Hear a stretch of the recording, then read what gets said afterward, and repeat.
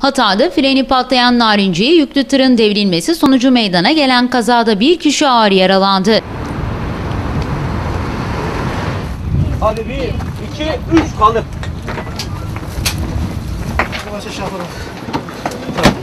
Alınan bilgiye göre kaza Belen Antakya Karayolu arasındaki Kıcı Köyü mevkiinde meydana geldi. Antakya istikametine gitmekte olan Refik Mansuroğlu yönetimindeki 31 AFZ 40 plakalı narinciye yüklü tır frenin patlaması sonucu kontrolden çıktı. Bariyerleri çarpan ve yan yatarak metrelerce sürüklenen tırdan tonlarca narinciye yola saçıldı.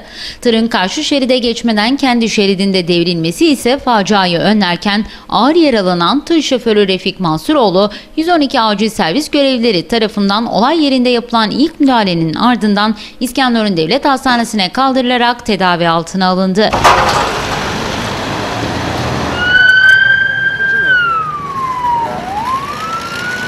Trafiğin saatlerce aksadığı karayolunda uzun kuyruklar oluşurken jandarma kaza ile ilgili soruşturma başlattı. Önemli ölçüde maddi zararın yaşandığı bildirildi.